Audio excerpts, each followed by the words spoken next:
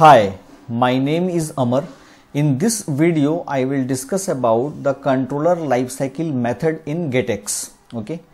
Now, if you want to perform some action while the controller is initialized or if you want to perform some action when the controller is disposed, at that time we can use the controller lifecycle methods. Here what I have done, I have created a my controller which is extending the getx controller. In this class, I have created a count variable having the value as 0.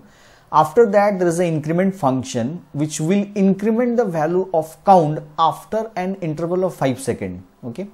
And after that, I have called the update method. This will update the UI which uses the count variable. Now, this update I have already discussed in my previous videos, right?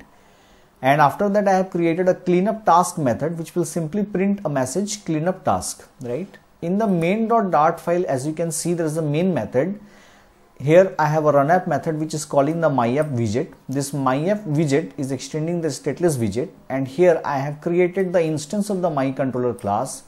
Now in the build method as usual there is a get material app title is controller lifecycle. In the home property I have used scaffold widget and there is a app bar having the title as controller lifecycle. In the body I have used the center widget. In the center I have used the column widget and as a children of the column widget as you can see I have taken get builder which is taking my controller okay? Now here it has a property init state. Now whenever the controller will be initialized at that time this init state property will work and whenever the controller will be disposed from the memory at that time dispose uh, will be called okay? Now let me tell you one more thing that it is not required to dispose the controller by ourselves that will be taken care by getx library. But if you want to perform some action while the controller is disposed from memory at that time we can use this dispose attribute. For example suppose there is a text editing controller and that text editing controller you want to dispose when the controller is disposed. At that time that clinic cleanup task we can write in the dispose attribute. Okay? Now here you can see in the init state what i have done i am calling the increment function. Okay? And in the dispose i am calling the cleanup task method. Okay? Now in the builder which is taking a controller which is obviously of type my controller and here i am using a text widget and it is printing the value of count. Obviously first time it will print the value of count as 0 okay now, as I told you that this init state will work whenever the controller will be initialized, okay? And whenever the controller will be initialized, I am calling the increment function. This means actually this increment function will be called. It will increment the value of count by 1 after an interval of 5 seconds. After that, update will be called. This update will update the text to widget because it uses the count variable, okay?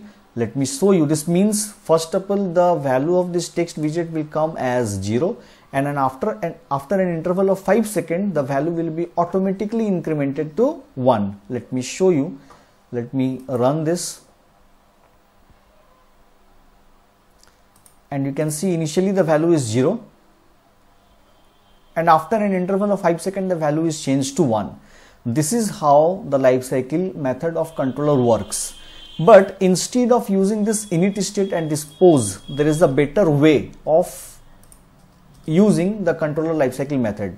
What I will do is that I will simply comment this and in the my controller, in sorry, in the main.dart file, instead of using this init state and dispose, in the my controller itself, we will override the methods. There is a better approach here. We will override the methods init and close. Let me simply uncomment this. This on init method will be called whenever the controller is initialized and this on close will be called whenever the controller will be removed from the memory okay? Now let me open the run tab.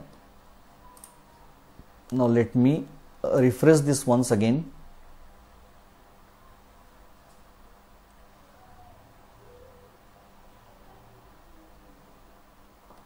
let me do a hard refresh. Now as you can see whenever the controller is initialized the init method is called okay? So whenever this controller will be initialized at that time this on init method will be called and whenever the controller will be removed from the memory at that time this on close method will be called. So my suggestion will be instead of using this init state and dispose here it is better to override the on init and on close in the my controller itself. Okay? This is the entire code for my controller. And this is the code for main.dart file. I hope you have liked my videos. If you have liked my videos please subscribe to my channel. Thank you so much for watching